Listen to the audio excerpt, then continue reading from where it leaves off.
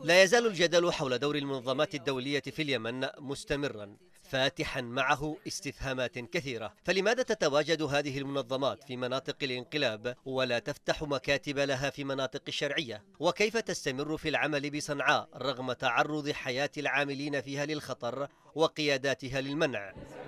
أسئلة لم يعد ينتظر إجاباتها العاملون في المجال الحقوقي فقط. بل أيضا الحكومة المعترف بها إقليميا ودوليا. وزارة حقوق الإنسان دعت المفوضية السامية لحقوق الإنسان لنقل مكتبها من صنعاء إلى عدن وتعهدت الوزارة في بيان لها بتوفير بيئة للمراقبة والرصد لمدير مكتب المفوضية العبيد أحمد العبيد الذي منع مؤخرا من قبل ميليشيا الحوثي من دخول صنعاء.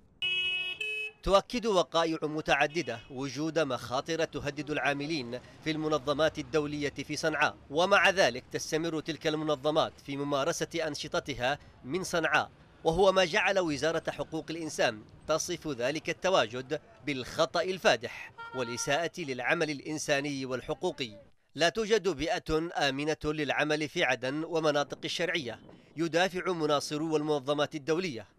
خصوصا وأن الشرعية لا تمتلك قرارها في العاصمة المؤقتة لكن الشرعية التي تعهدت بتوفير تلك البيئة الآمنة تساءلت بلسان وزارة حقوق الإنسان عن مبررات بقاء تلك المنظمات في صنعاء متهمة إياها بالفشل في زيارة المعتقلين والمخفيين قسرا في سجون ميليشيا الحوثي وعدم النجاح حتى في إيقاف التعذيب ومنع تجنيد الأطفال.